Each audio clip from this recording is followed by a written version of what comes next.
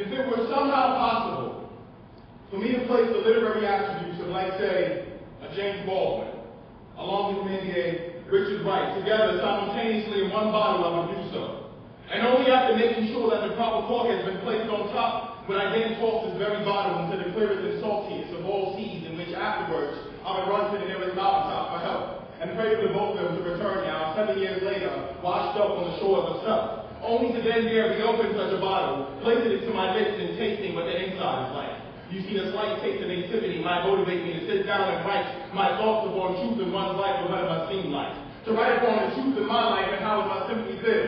A blacking truth, mind you, which may or may not now parallel the breastfeeding of a young infant child, whose mother is not knowing of the path that lies dormant for her son, and so she continues to feed as we all do into this grand delusion of our labeled fear. But just for the record, I don't fear none of you because motherfuckers like y'all don't think simply.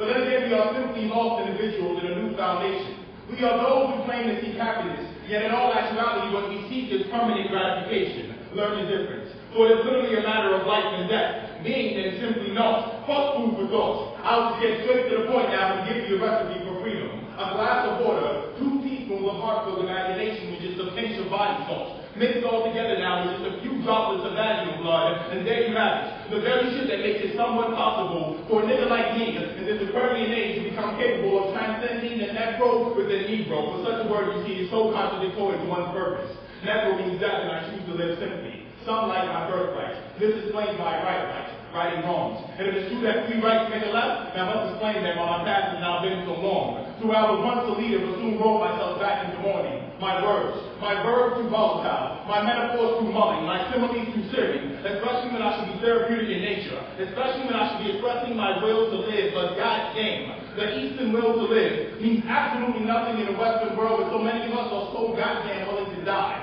which is absolutely why, as a people, we must all one day with revolutionary flair and throw that small piece of precious land built upon my ancestors' knowledge of the compass and the square, aka the nation's capital, and demand now that our families be released, that our cultures and languages are given back, and that the perversions of our rituals, our gods, and our goddesses come to an end. But we should no longer tolerate these metaphors of oppression. Understand the path in which we once walked is now dead. Point blank, it can no longer be. Because to bring it back to what James Baldwin wrote in 1960,